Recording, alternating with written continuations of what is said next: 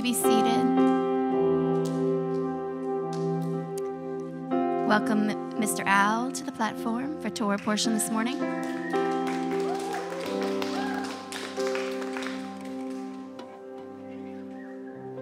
Shabbat Shalom.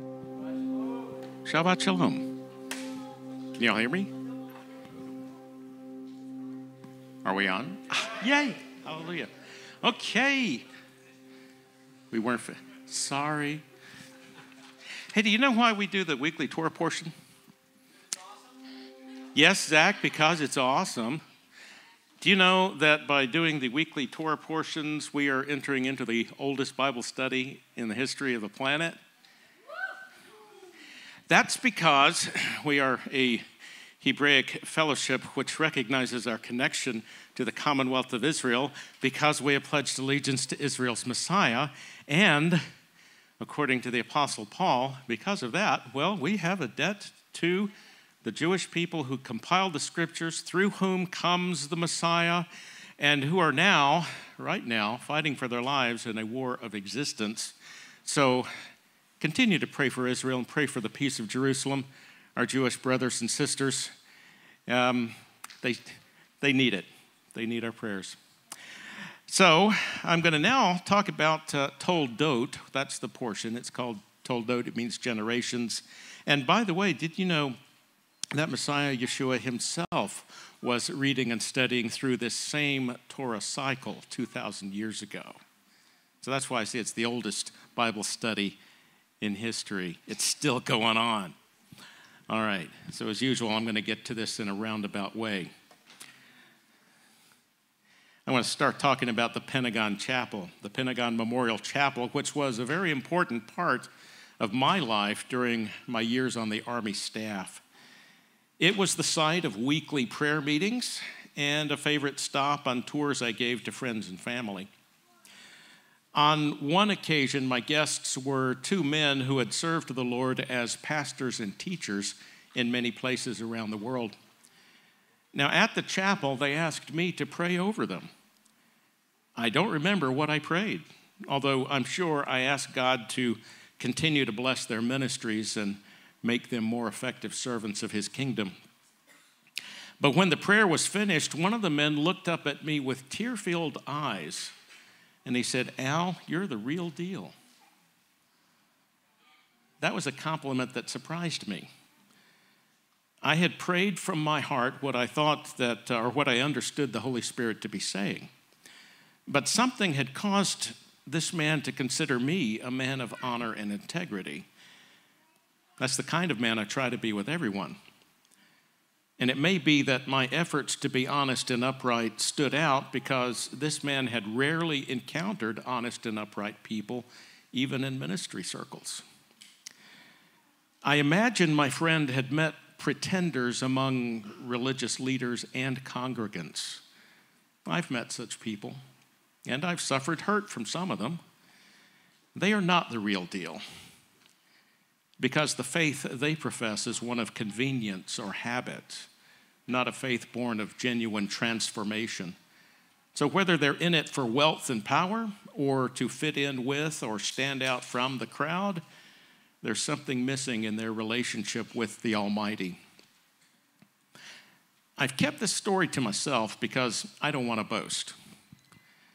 God gets the credit for any qualities of righteousness He's developed in me but his work isn't yet finished. And that's why I take Paul's counsel seriously from 1 Corinthians.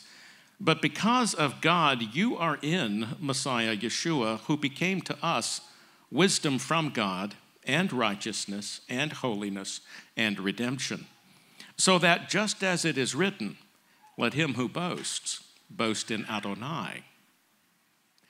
Paul took this advice from something God had explained to Jeremiah. Jeremiah 9, he says, Thus says Adonai, let not the wise boast in his wisdom, nor the mighty boast in his might, nor the rich glory in his riches. But let one who boasts boast in this, that he understands and knows me. For I am Adonai, who exercises loving kindness, justice, and righteousness on earth. For in these things I delight. Now, those who identify as God's people should want to do the things that delight Him. So, why do we often do the opposite? And that's why Yeshua reprimanded the spiritual leaders of his day, saying, Woe to you, Torah scholars and Pharisees, hypocrites! You tithe mint and dill and cumin, yet you have neglected the weightier matters of the Torah justice and mercy and faithfulness. It's necessary to do these things without neglecting the others.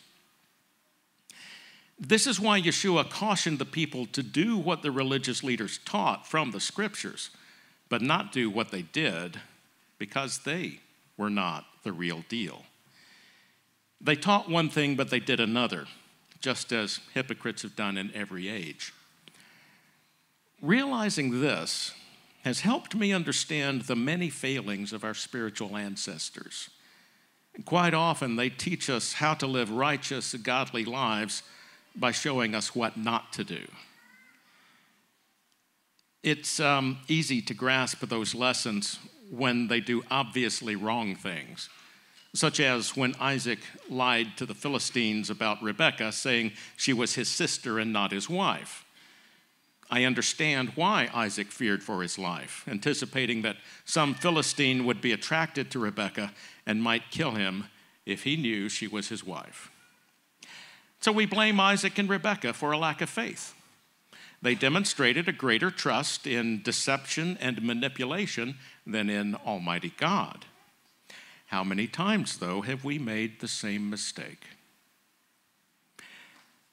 That's the point of the story. It's supposed to make us question ourselves and seek correction so our lives better reflect God's definitions of righteousness and justice, mercy and faithfulness. But it's more difficult to understand the lessons when we see our ancestors pursuing righteous ends by unrighteous means. That's why the story of Jacob and Esau makes me uncomfortable. It's difficult enough to relate what the Bible says about God loving Jacob and hating Esau even before the twins were born. The best way I can deal with that is by understanding our Creator is the only one who sees the hearts of human beings and who knows the end from the beginning. Somehow he knew Esau would be the bad seed of Isaac's family, and therefore he designated Jacob as the rightful heir to the birthright of the covenant he had established with Abraham. But what do we do with the way Jacob acquired the birthright? By persuading Esau to sell it to him for a bowl of stew. Jewish teaching says the boys were 15 at the time, and the stew Jacob prepared was for the ritual meal of mourning at the death of their grandfather Abraham.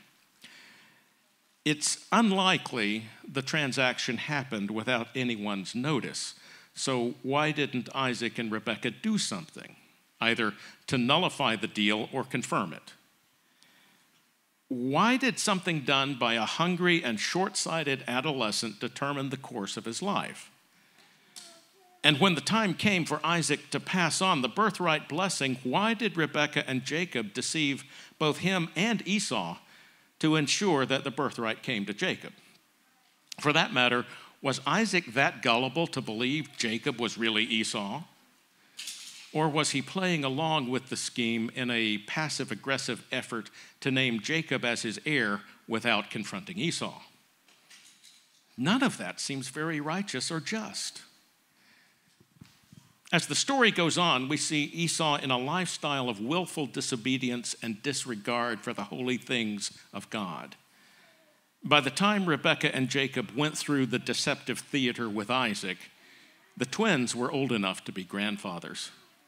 And Esau had married into the wicked Canaanite culture instead of taking a wife from within the family, as Isaac had done and Jacob would do.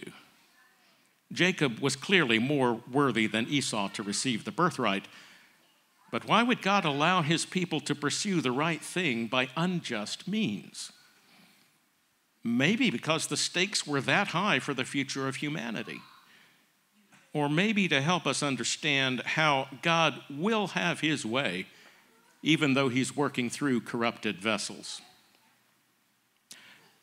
We don't like this story because we see that same corruption in ourselves. However carefully we try to do the right thing, we still make mistakes. And sometimes those mistakes are grievous to ourselves and others. That's the sad reality of human beings who have both wheat and tares growing in our hearts. Sometimes we can't tell which is which until much later, just as with Jacob and Esau. Esau held on to his anger and never changed. But Jacob tried to make things right with his brother, demonstrating by his actions that he had become a righteous man. So it comes down to what kind of relationship we have with our Creator. Abraham opened himself to a transforming relationship with the Almighty, and he taught his children to do the same. That's how Abraham's family has become a blessing to all the families of the earth, even though he and his descendants made many mistakes. The course of his life demonstrated that he was the real deal, just as we will be when, like Jacob, we learn to do the works of Abraham.